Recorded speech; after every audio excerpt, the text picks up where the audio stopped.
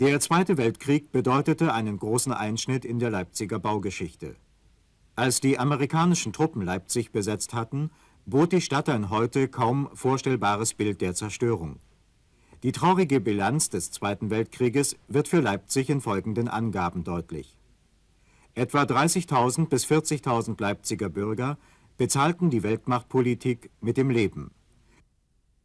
Fast 40.000 Wohnungen waren zerstört und 52.000 schwer beschädigt.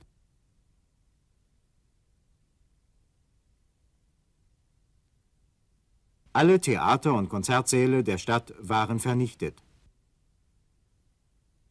830 öffentliche Gebäude der Stadt waren schwer getroffen. Von 103 selbstständigen Universitätsgebäuden hatten lediglich 16 den Krieg ohne größere Schäden überstanden.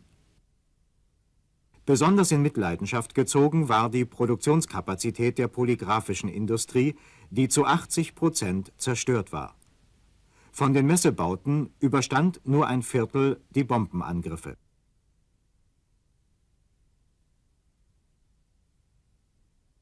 Die Einwohnerzahl sank von über 700.000 vor Ausbruch des Zweiten Weltkrieges um etwa 20 Prozent auf 585.000 im Jahre 1945.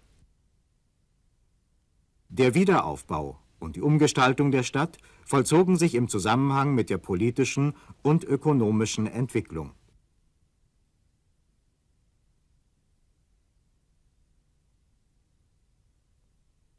Im Zeitraum von 1945 bis 1949, vor der Gründung der DDR, war an Neubauvorhaben zunächst noch nicht zu denken.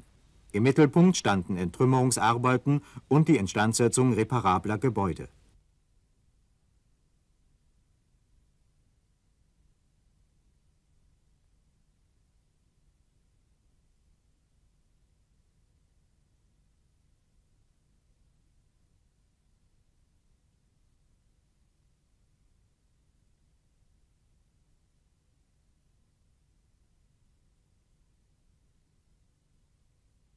Im Komplex Georgiring entstanden in den Jahren 1960 bis 1962 die Wohnbauten gegenüber dem Schwanenteich. Mit diesem siebengeschossigen Wohnhaustyp in Plattenbauweise wird für Leipzig der Übergang zur industriellen Bauweise charakterisiert. Dieser Wohnhaustyp des Architektenkollektivs Kranz wurde hier erstmals eingesetzt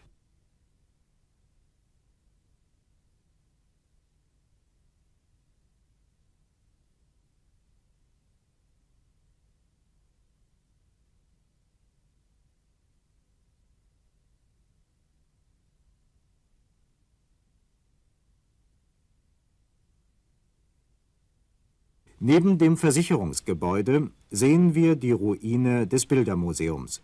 Darauf kommen wir noch. Der Gottesacker um die Johanneskirche vor dem Grimmaschentore war durch eine Verordnung Herzog Georgs im Jahre 1536 zum alleinigen Leipziger Begräbnisplatz bestimmt worden. Dabei blieb es bis zur Mitte des 19. Jahrhunderts. Bedeutende Leipziger Persönlichkeiten wie Bach, Gellert oder Oeser wurden hier begraben. Den Turm der älteren Johanneskirche hatte der führende Baumeister des Leipziger Rokoko, George Werner, in den Jahren 1747 / 48 errichtet. Das neobarocke Kirchenschiff von Hugo Licht war im Zweiten Weltkrieg völlig zerstört worden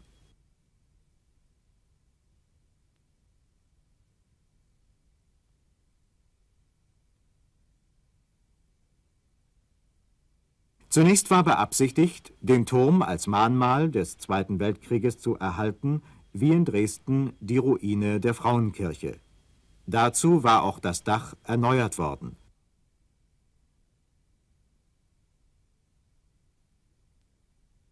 Jedoch wurde am 10. Mai 1963 der Turm mit allem Zierat gesprengt und der Platz eiligst beräumt.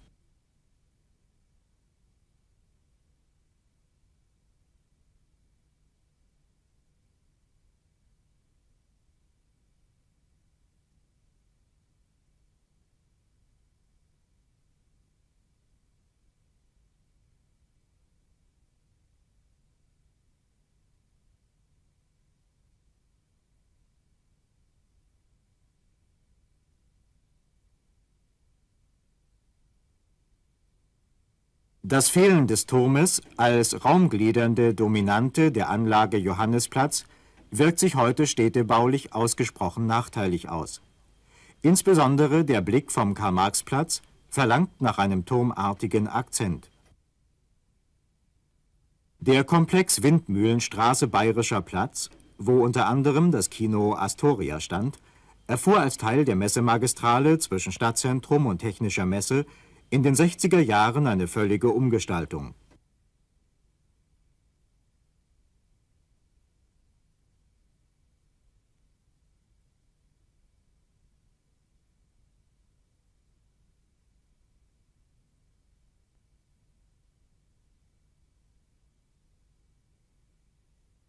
Das groß angelegte und zum Stadtjubiläum 1965 proklamierte Gesamtkonzept sollte ermöglichen, vom Hauptbahnhof innerhalb von fünf Minuten zur Technischen Messe zu gelangen. Im Ganzen verwirklicht wurde dieses Konzept nicht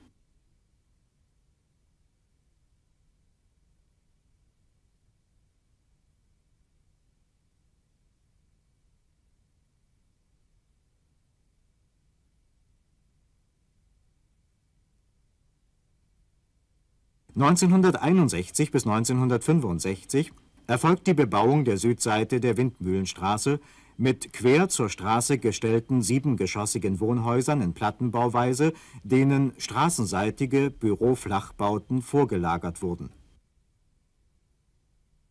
Das 1905 fertiggestellte neue Rathaus auf dem Gelände der ehemaligen Pleißenburg hatte den Zweiten Weltkrieg zum Glück mit nur geringen Schäden überstanden im Bereich Neues Rathaus Karl-Tauchnitz-Straße wurde im Sommer 1964 diese verkehrstechnisch wichtige Kreuzung der Leipziger Ringanlage umgestaltet.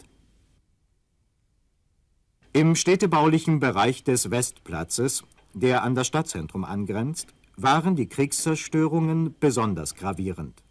Mit einfachen Wohnhäusern in traditioneller Bauweise wird auch hier zu Beginn der 60er Jahre der Aufbauwille der Leipziger Bevölkerung sichtbar.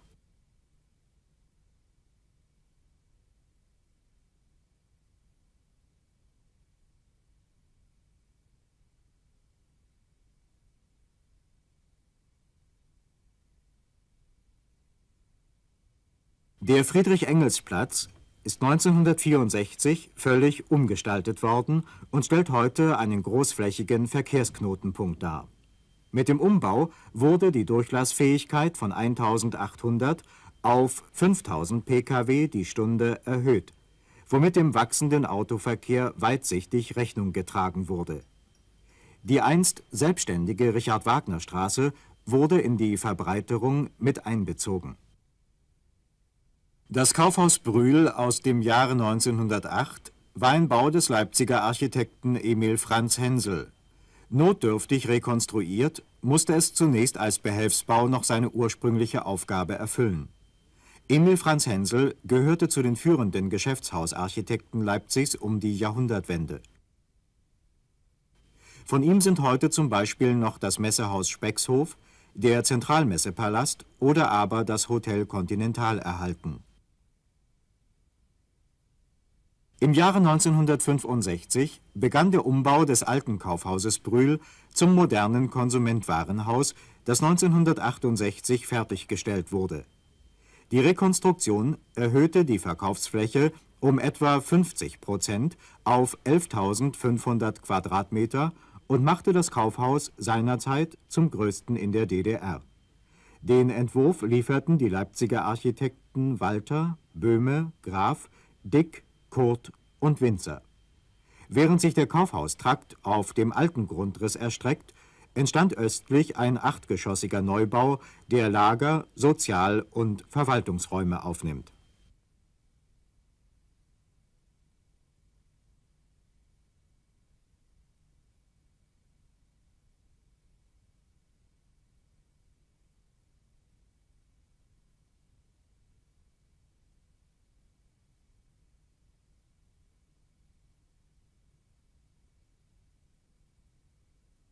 Wir wenden uns dem Sachsenplatz zu. Das barocke Romanushaus von 1704 hatte zum Glück den Zweiten Weltkrieg überstanden. aber die Ostseite der Katharinenstraße, der Brühl, die Reichsstraße und angrenzende Bereiche waren fast bis zur Unkenntlichkeit zerstört worden. So ist der Sachsenplatz überhaupt erst entstanden.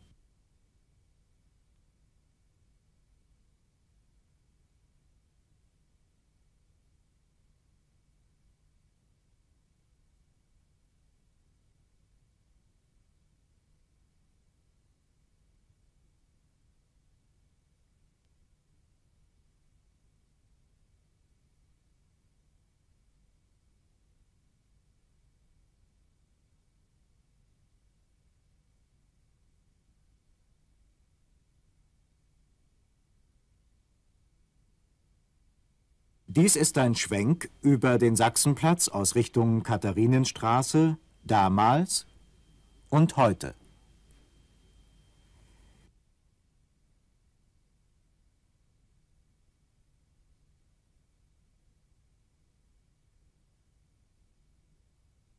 Die Katharinenstraße war Leipzigs Prachtstraße im Barock.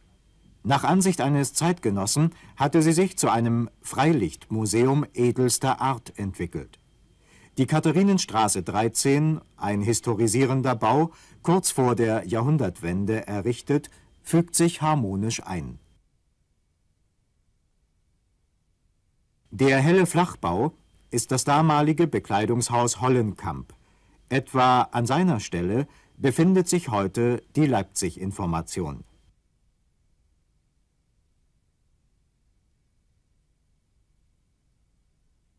An der Nordseite des Brühls entstanden zehngeschossige Wohnhochhäuser in Kammstellung zur Ringpromenade.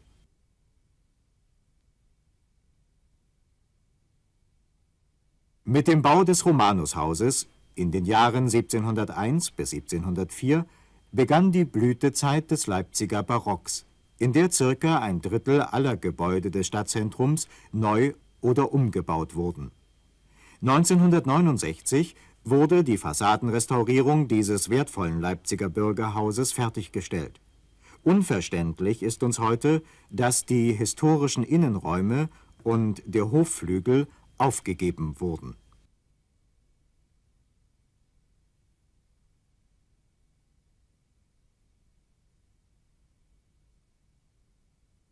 Mit dem Bau des elfgeschossigen Interpelzgebäudes 1965-66 wurde ein alter Gedanke aus dem Generalbebauungsplan von 1929 wieder aufgenommen, der vorsah, Leipzigs Bedeutung auf dem Gebiete des Rauchwarenhandels durch ein entsprechendes Hochhaus städtebaulich zu akzentuieren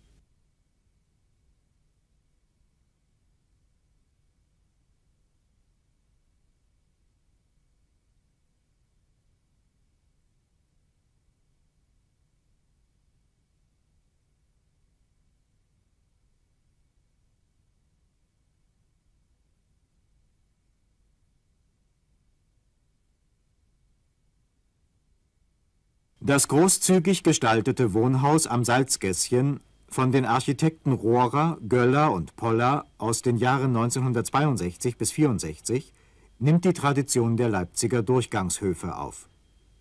Der Innenhof des sechsgeschossigen Baues mit 249 Wohnungen bietet in den Sommermonaten eine Ruhezone im geschäftigen Stadtzentrum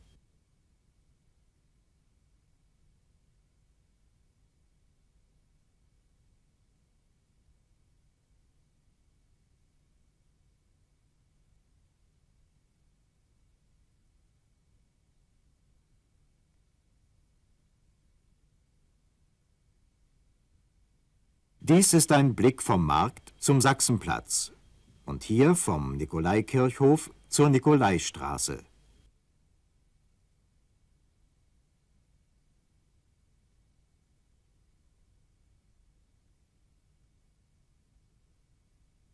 So bot sich der Blick von der Ecke Altes Rathaus Salzgässchen zur Thomaskirche dar.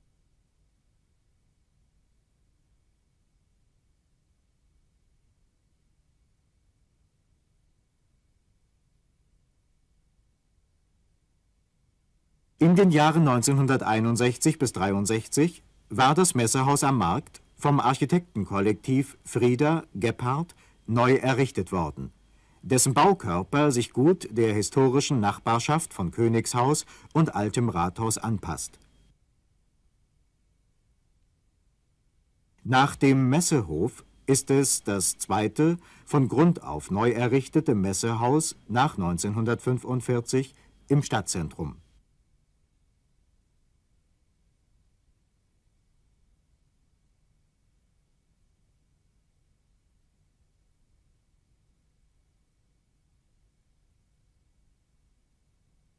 Im Jahr der Leipziger 800-Jahrfeier 1965 wurde das moderne Gebäude des Leipziger Messeamtes mit seiner großflächigen Vorhangfassade gegenüber dem alten Rathaus fertiggestellt, das den historischen Bebauungsmaßstab an diesem Platz allerdings ungenügend berücksichtigte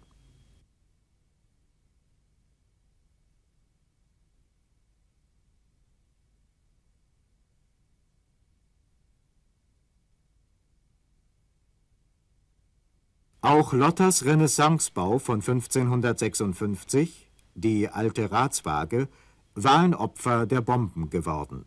Nach dem Krieg entstand an dieser Stelle ein provisorischer Pavillon, der als Reisebüro genutzt wurde. Erst 1962 begannen hier der Abriss des Pavillons und die Entrümmerungsarbeiten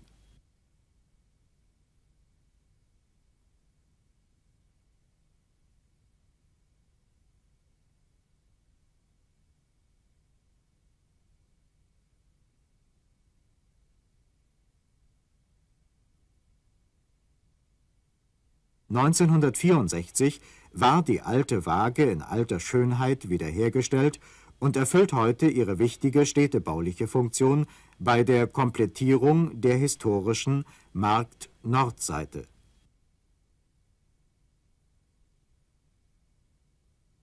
Ein Blick in die Hainstraße.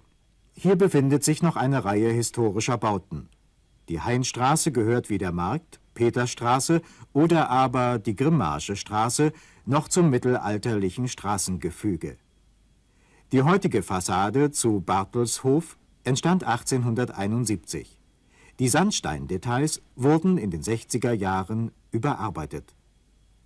In den 80er Jahren folgte erneut eine Rekonstruktion des Komplexes, wobei die Stadtbibliothek ihr Domizil verlor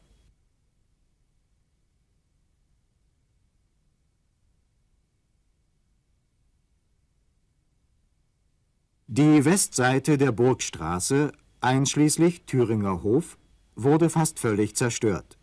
Wie durch ein Wunder blieb der Renaissance-Treppenturm des Wohnhauses zur Goldenen Fahne von 1508 erhalten. Er wurde in den Neubau Burgstraße 4 1960 bis 1963 errichtet, einbezogen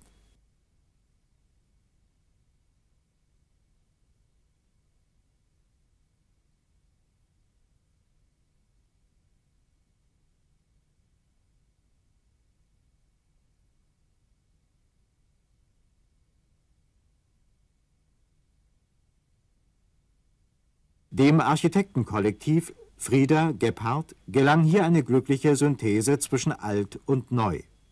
Der Wohnhausneubau weist sich einerseits klar als zeitgemäße moderne Architektur aus und berücksichtigt andererseits doch einfühlsam die historische Umgebung von Thomaskirchhof und Thomaskirche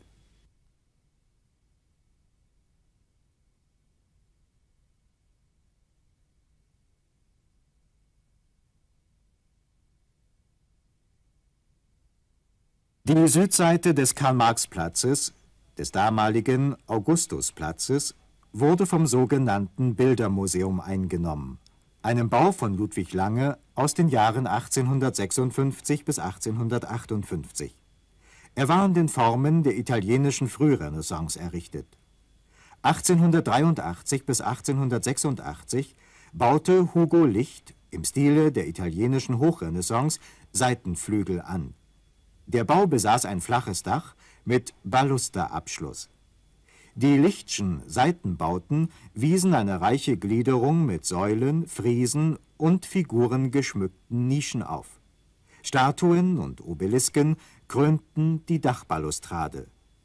Am 4. Dezember 1943 war das Gebäude völlig ausgebrannt.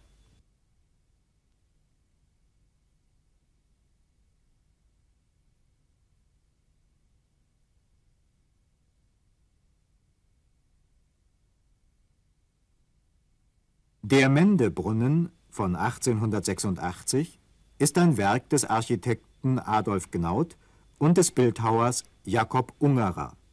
Er stellt eine Allegorie des Umganges des Menschen mit dem Meere dar.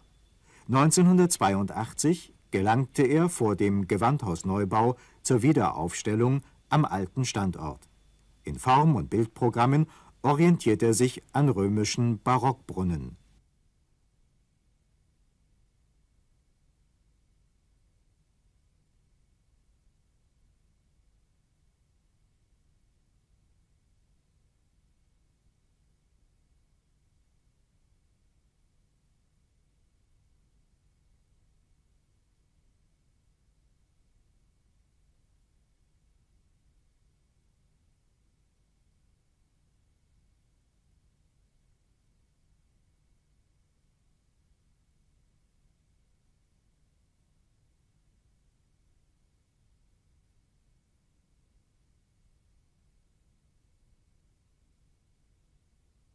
Die Ruine des Bildermuseums wurde 1963 beseitigt.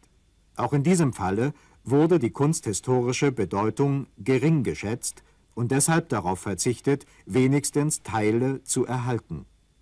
Zum geplanten Neubau eines Bildermuseums kam es nicht. Noch heute nutzt das Museum der Bildenden Künste Leipzig das Gebäude des ehemaligen Reichsgerichts.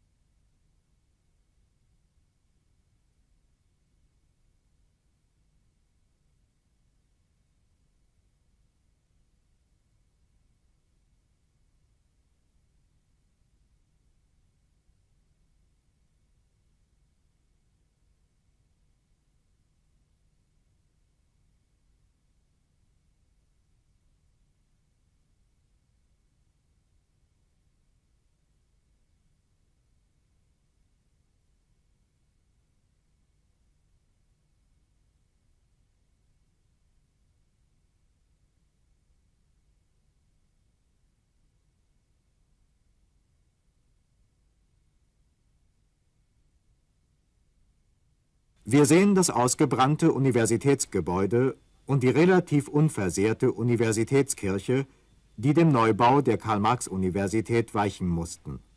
Insbesondere die Sprengung der Universitätskirche am 30. Mai 1968 verursachte massive Proteste der Bevölkerung.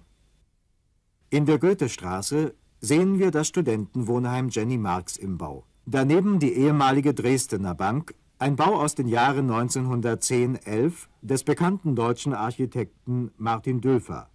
Markant ragt das Bankhaus Kroch heraus, das in Anlehnung an den Uhrturm in Venedig gestaltet wurde. Der elfgeschossige Bau wurde als erstes Hochhaus Leipzigs 1927-28 von Bestelmeyer errichtet. Die Glockenschlägerplastiken schuf der süddeutsche Bildhauer Josef Wackerle. Bereits 1956 bis 1960 war das Opernhaus nach Entwurf von Kunz Nierade wieder aufgebaut worden. Es zählt heute zu den Denkmalen aus der Geschichte der DDR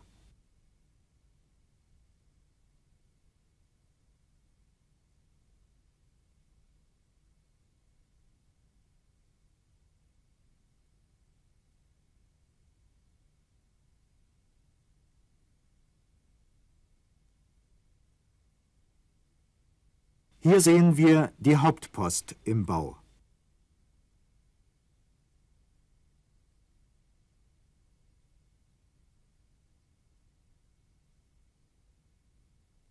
Die gezeigten Bilddokumente haben für uns heute unersetzlichen baugeschichtlichen Wert.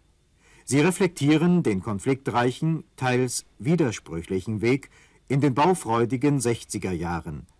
Sie zeigen, wie der Wiederaufbau und die Umgestaltung der im Zweiten Weltkrieg so stark zerstörten Stadt begannen